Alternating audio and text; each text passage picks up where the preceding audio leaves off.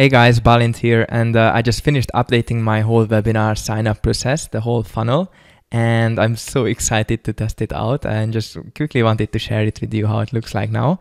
So basically, I collect email addresses inside of my messenger with my chatbot, and I also send out an automated email when people uh, give their email addresses and also track data into a, uh, a sheet. So um, I'm just going to go through it and then explain how it works. It maybe uh, helps you to uh, have uh, some inspiration to build out your funnel, your business as well. Uh, there are so many integrations uh, available now, and we are just scratching the surface. Like what's coming is mind blowing. So let's just um, jump into it, and uh, I hope you to uh, share your ideas as well. So basically, I'm going to just uh, trigger now the first message as I would normally sign up for my webinar. And uh, we will go through it.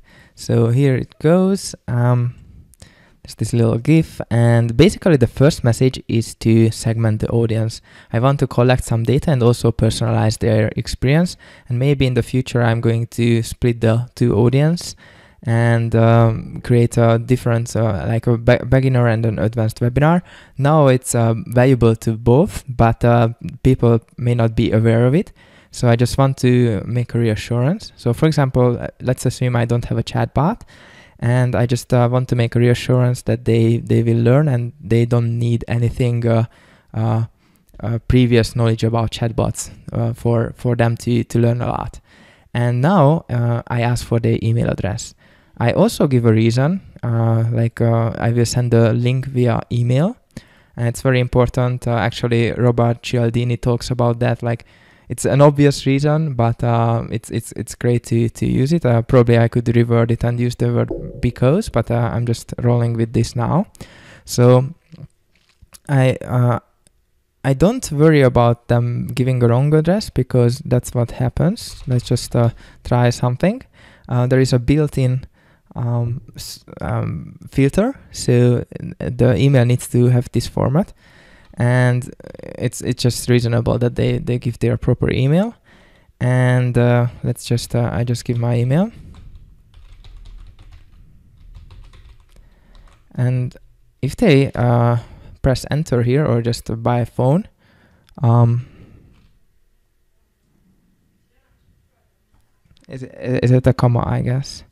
So let me just copy it and uh, put a dot.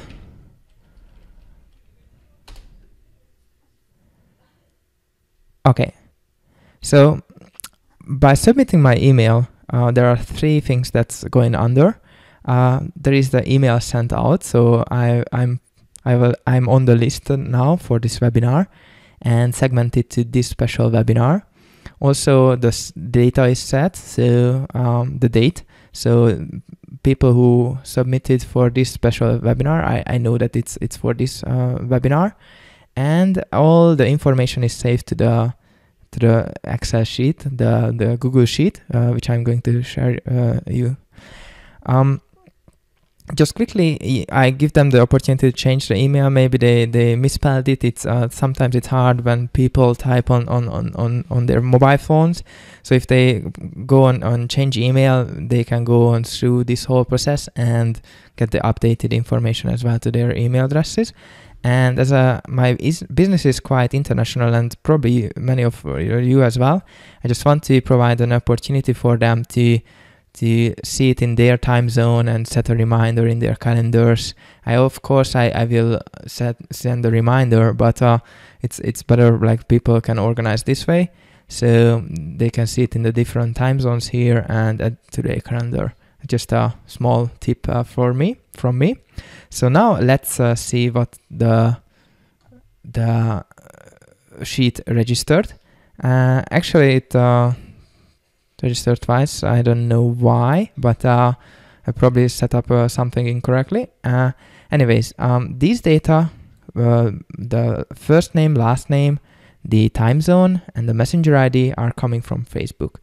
The time zone is uh, not so important for me, but I just want to create uh, just track the data, like how, how how many people. So I think the sheet is a very good way to have a good overview over the people who registered for the uh, webinar.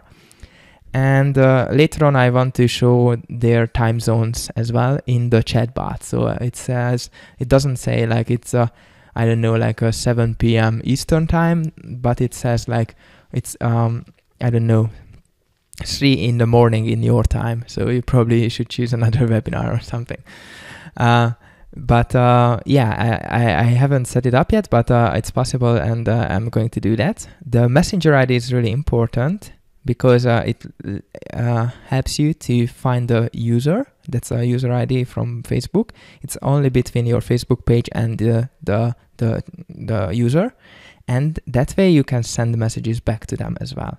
So this is what I have here, and the attended is is an extra um, opportunity to track uh, if they attend the webinar as well, and maybe I can do some automation regarding that and and uh, segment the people again. So it's it's crazy. Oh, and I haven't talked about the email, which is already sent out, and all in the future communication, I have this uh, connection between the chatbot and the email and I can just uh, use it all the time. And oh, it's it's it's amazing. All right, uh, so let's just uh, start a message. Like I can just say thank you. Uh, see you there.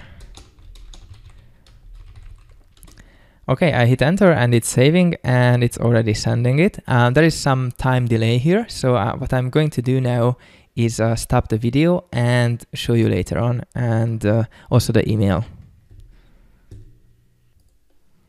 All right, so back, uh, just uh, wanted to show you, like uh, a couple of minutes later, there was the text I, I sent. And I also found the issue which uh, caused that uh, it was uh, saved twice into the sheet. I also set up the same automation by clicking on the link here on the button and also by um, approving a valid email address. So yeah, that was about it. Uh, and I hope uh, you have some imp- inspiration and, and probably just uh, can automate something in your business and uh, just save some headaches from the future. And um, yeah, I, I, think I will probably record a tutorial if there is uh, enough need. So let me know in the comments uh, what you think, if, you, if you would like to see a tutorial on that.